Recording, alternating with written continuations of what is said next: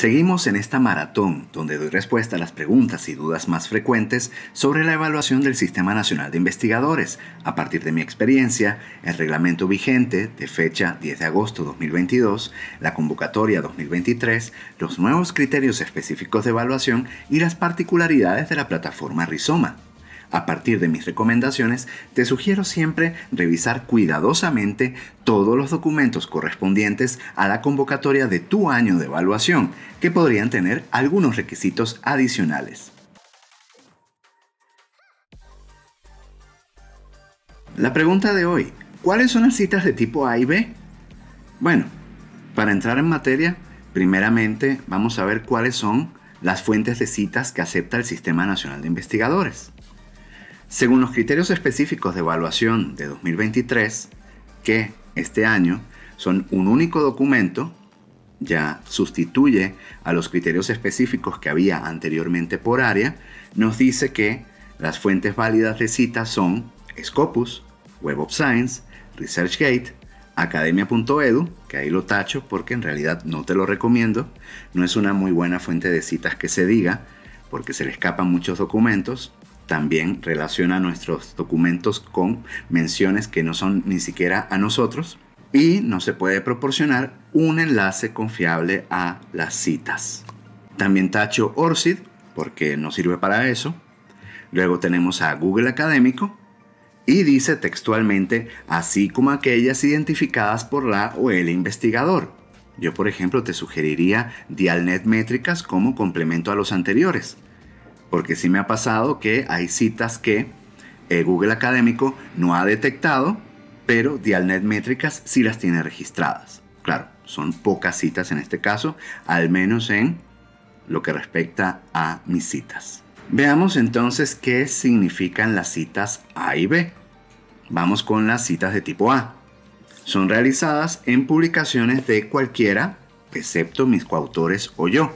Si yo tengo una publicación, en que aparezco yo, pero también con los autores X, E, Y, es citada por otro documento, se va a considerar cita A si ese documento está firmado por autores C, D o E.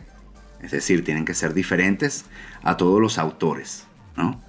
Siempre en todo caso hay que excluir las autocitas, esas no se cuentan. Luego las citas de tipo B van a ser aquellas que aparezcan en publicaciones de alguno de mis coautores excepto yo. Es decir, mi publicación con los autores X, Y y yo va a ser citada por autores X y O, Y. Eso sería la cita B. Vamos a ver un ejemplo. Este artículo está firmado por dos colegas y en tercer lugar por mí. ¿Qué sería una cita A? Este documento. Fíjense que este autor es otro distinto a los que firman el documento que está siendo citado, que es el mío, ¿verdad? Este es un autor diferente, entonces en este caso esta sería una cita A. ¿Cuál sería una cita B? Por ejemplo, este otro, donde aparece Josmel Pacheco Mendoza. ¿Ven? Es uno de mis coautores, Josmel Pacheco Mendoza. Entonces, en este caso, que uno de mis coautores me ha citado, yo no estoy firmando este documento, ¿verdad? Este caso sería una cita de tipo B, porque uno de mis coautores publicó un documento donde cita este otro documento, una cita B en este caso. Ahora te voy a mostrar cómo haces para registrar las citas en la plataforma Rizoma. Primero vamos a elegir cuál plataforma de citas vamos a usar. Yo voy a elegir Google Académico y te lo recomiendo. ¿Por qué? Bueno, no todos tenemos acceso a Scopus, a Web of Science, porque son recursos de suscripción. Y Google Académico es el que va a recoger una mayor cantidad de citas, ya que toda fuente académica está indizada por Google Académico. Y esto es interesante porque, por ejemplo, podemos ver que nos citen en tesis. Eso de alguna manera habla de liderazgo y reconocimiento nacional internacional porque estamos incidiendo en la investigación de nuevos profesionales, ¿verdad? Porque nos están citando en sus tesis. Ese sería un argumento. En otro video yo explico cómo hacer un reporte de citas completo. Asegúrate de revisarlo. Bien, vamos a ubicar en Google Académico ese documento. Lo ubicamos. Aquí está. Vamos a hacer clic es en el número de cita. ¿Ok? Hacemos clic acá.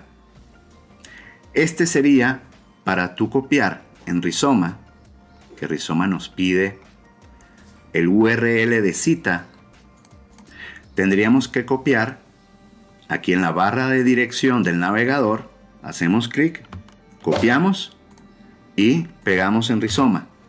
Ese sería el URL de cita. También se puede hacer en otros sistemas como Scopus y Web of Science, ¿verdad?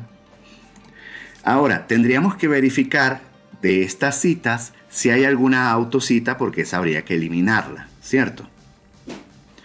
Alguna autocita, es decir, que yo haya publicado otro documento, como este por ejemplo, en que aparezco yo como coautor, ¿sí?